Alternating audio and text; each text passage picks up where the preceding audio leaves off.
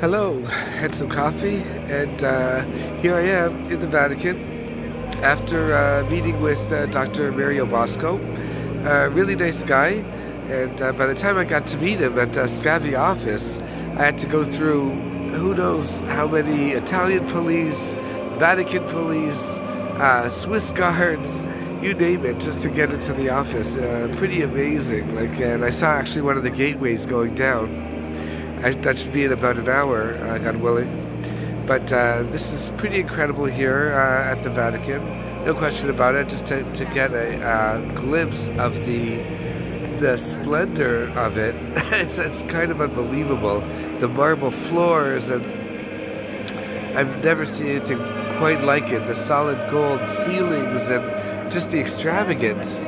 It's it's really wow. It's, it, the wow factor is is right up there, put it that way. Anyway, uh, so that's kind of exciting. I'm a little more awake now. This is the second of the videos uh, today on Monday, uh, October 24th, 2022.